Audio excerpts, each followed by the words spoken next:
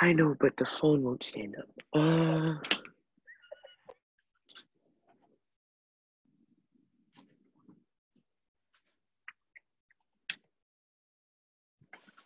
here we go.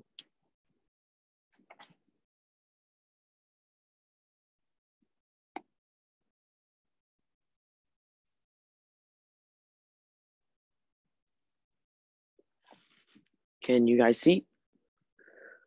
Yes, we can. Yeah, yeah. Okay. So for my project, I made a diagram of kalo or taro.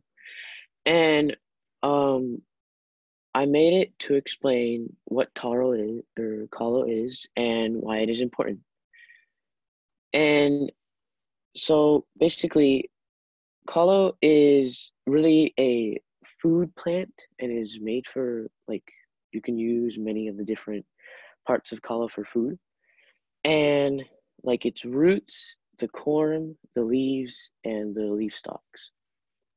So basically the leaf stalks are used for many food dishes and it is most mostly popular in the philippines many philippine dishes.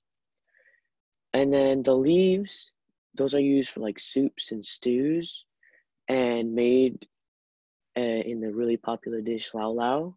That's what the leaf is called, lau.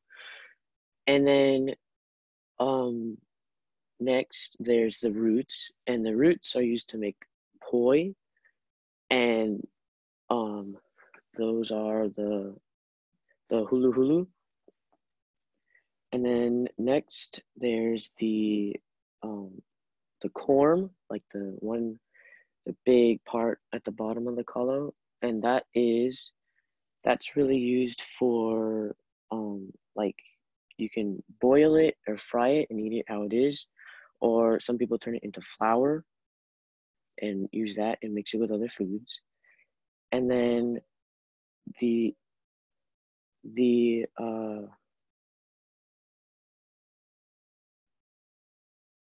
sorry, there's something going on in my house.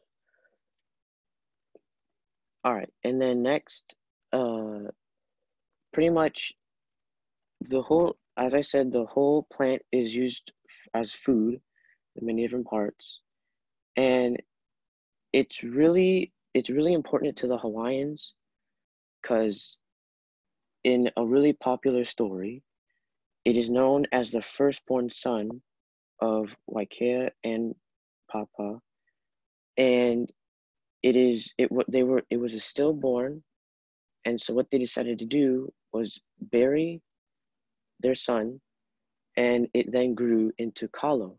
And it was a really it's been really important to the hawaiians like over generations because it's been a very vi- a very valuable resource for food.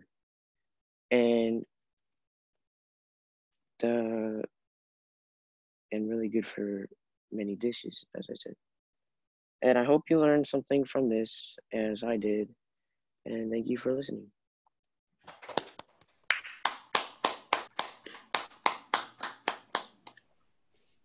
Liam, I legitimately thought that was like printed off the computer. Yeah, me too. I was like, um, and then when it got closer, I was like, oh. I was like, oh no, he drew that. You know, you have a question for Liam? Very well done. Thank you.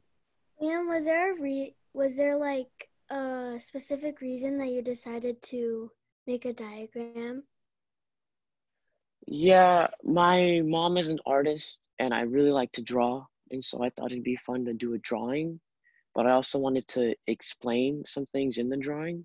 So I just thought to make it like a diagram, but I really focused on the, the art piece. Very cool. Awesome. Awesome job. Thank Let me stop recording.